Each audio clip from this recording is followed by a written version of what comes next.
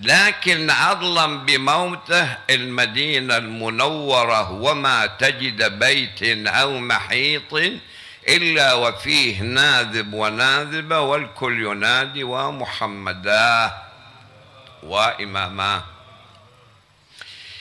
إما بالنسبة لما لاقاه من ألم السم صلوات الله وسلامه عليه كان روحي فداه يتقلب عن يمينه وعن شماله وينادي بالغربة والكربة وبعد الوطن وقلة الأهل والأقارب.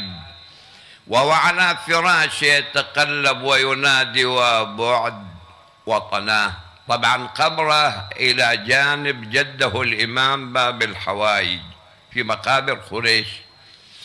دفنه ابنه علي الهادي صلوات الله وسلامه. الله عين علي الهادي.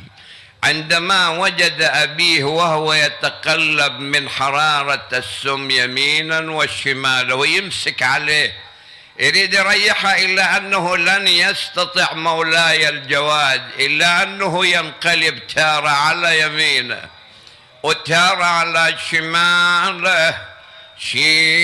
شيع محبين وعند احتضار الموت مدد الإمام منه اليدين أسبل الرجلين غمض العينين أوصى على يد ولده. عليه ثم قال له بني في أمان الله.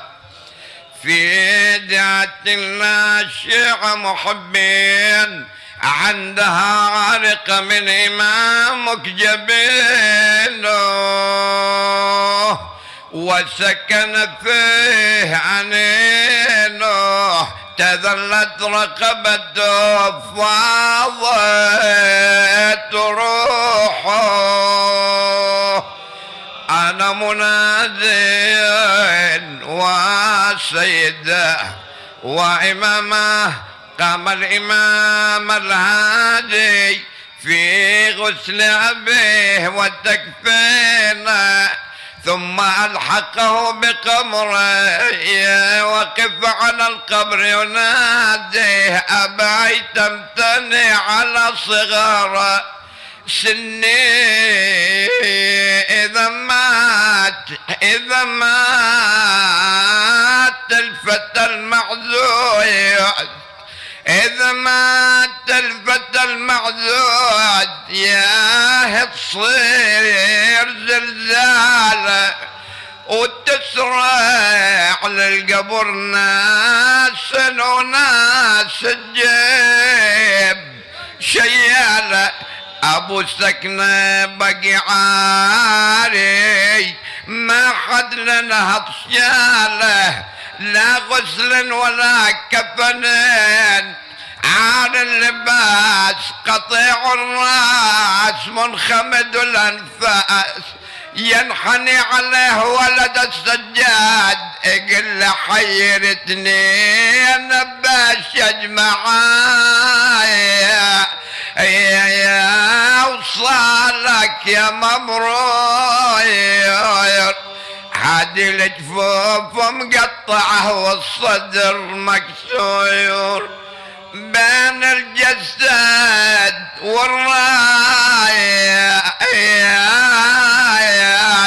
رايات يا ابن المصطفى بروير. هذا الجسد والراس الشهر بالأمصاير. حفر قبر حسين. يما قام محني الظهاير وضع يد عند الرجال الثانية عند الصديق. قام كل ما رفع جانب جانب الثاني قال أبوي شلون اشيلك ولو صار مطشرايا لا لا لا حنوط ولا جفايا كفن تحصل يا أبوي ولا غسيل لا عضو عندك بلا خاير يا عزيزي متصل ذاب قلبي باريا بل احضروا لي بالعجايا مجمع وصال وبرايا كبها وبلف وبقبرايا لم علي أعضاء أبويا اللي انكسر واللي نشايم حتى قطعة قلبه اللي استخرجوها بالسايم ما بقى ما بقى غير الكريم على الرمح يبرى الحرايم جهز وحطه بقبره ظل يشم بمنحره حسين بعدك لا هنا عيش ولا لذة مشارب.